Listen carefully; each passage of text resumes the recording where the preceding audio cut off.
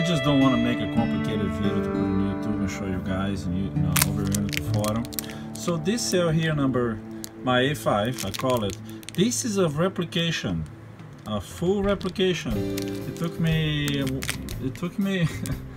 this cell was born December 1st, 2018.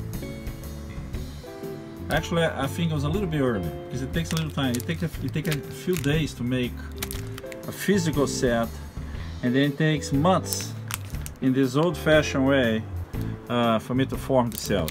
Uh, so this video is not to show details about the cells to none of you guys.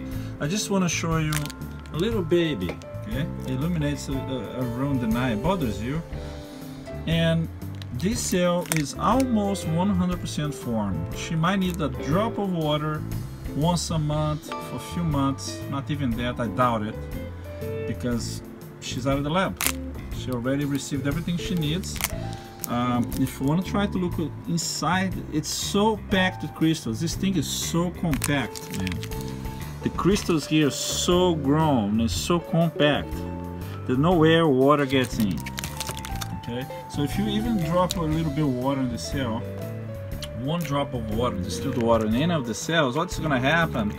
Uh, it will just evaporate. Very little residual water is to get inside because it's locked inside so much crystal growth. And that, that's what took me so long to grow the cell. But what I'm happy to show you guys on video Unity 4 about this cell, this is a replication of eight years of work. It took forever, it took me forever to figure out how this thing works. And this do another cell that I have, I haven't shown you guys yet. I, I did, it is in, in one of my videos from years ago. It's running, and that's the one, it's still running today after four years, five years. And that's the reason why I, I kept going. But I'm quiet because I haven't had a, a replication of my own, own work but now I have a replication of my own work. Uh, it's not fully confirmed because I haven't cast this in, a, in, in epoxy. I will only be fully happy when I cast this in epoxy and then I can say it's done, there's nothing you can do, you can't change, you can't make it more, you can't add, you can't take it away. So this cell is going to be out of my lab, walking around with me around in the house, in the car, in other cities, other houses, uh, showing to people and then in a few months I'll cast it. I'll make a measurement of the voltage and I'll cast it. And this cell was born uh, in December last year.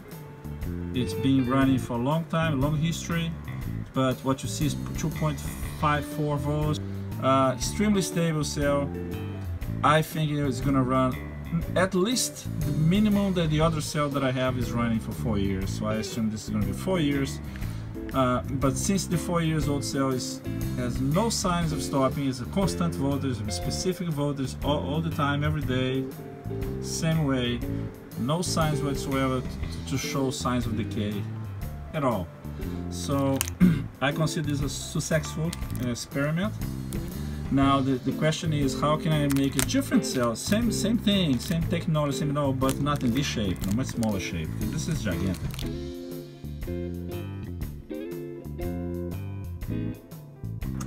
Uh, the research hasn't stopped.